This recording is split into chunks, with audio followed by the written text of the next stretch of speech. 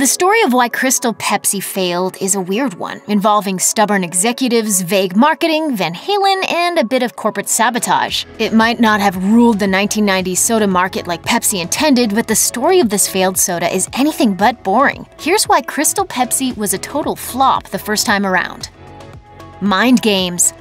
Crystal Pepsi was doomed from the beginning according to a theory from Tristan Donovan, author of Fizz How Soda Shook Up the World. Donovan says because both Pepsi and Coca Cola trained their consumers since the 19th century to associate brown soda with cola flavor, launching a clear cola in 1992 was too much of a sensory disruption. Clear soda later became associated with a lighter, citrus flavor thanks to the popularity of 7-Up and Sprite, so a cola flavored clear soda just felt off. But it wasn't just the color. Flavor fail. Now retired Crystal Pepsi creator David Novak talked to Business Insider about just what went wrong with the product and made a fascinating admission. If he had just listened to his staff, it might have stayed on the shelves instead of being discontinued in 1995. He pitched the idea for Crystal Pepsi in 92, the same year he took over as Pepsi's COO, hoping to cash in on the rising popularity of pure products.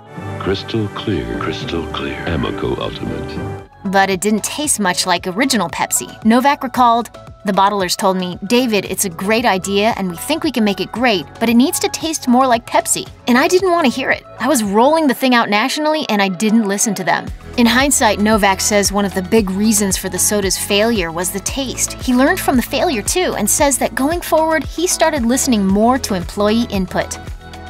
Total mystery. While consumers had been groomed to associate brown with soda, it's entirely possible the right kind of marketing could have made us change our collective minds and think clear cola was pretty revolutionary.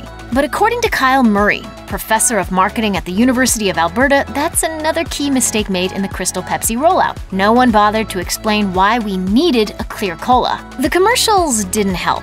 The Super Bowl launch ad is a sequel of sorts to Van Halen's iconic Right Now music video, and it also features the song. It's full of vaguely inspirational statements, but little about why consumers should try the beverage. Unclear ingredients. By the time Crystal Pepsi hit shelves, people were starting to move away from sugary, heavy soft drinks. Pepsi wanted consumers to think of Crystal Pepsi as a healthier option. You're really pushing this new Crystal Pepsi.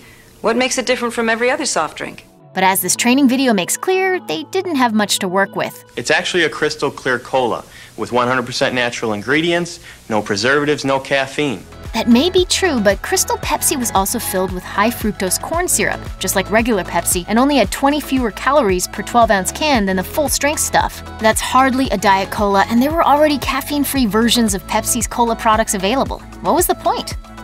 Soda sabotage.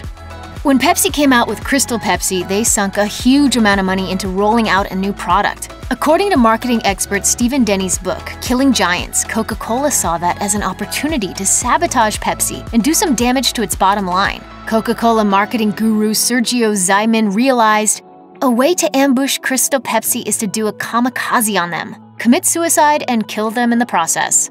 This was achieved by releasing Tab Clear, an unexciting sugar free diet drink meant to make consumers think Crystal Pepsi was also an unexciting sugar free diet drink. It was only on the market for a few months before it sank, and it dragged Crystal Pepsi down with it. Epilogue when Pepsi first brought Crystal Pepsi back in 2016, Business Insider reports that it didn't just sell out, it sold out fast. Why? Nostalgia for the 90s was a big part of it. The American Marketing Association says the round two success of Crystal Pepsi was because it was a curious relic of the 90s, and it was marketed successfully the second time around. Fans took to Twitter to talk about how they were rediscovering part of their youth, even going as far as calling Crystal Pepsi liquid history.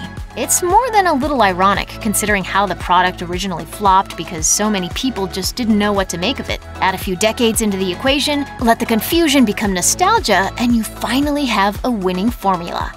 Thanks for watching. Click the mashed icon to subscribe to our YouTube channel. Plus, check out all this cool stuff we know you'll love too.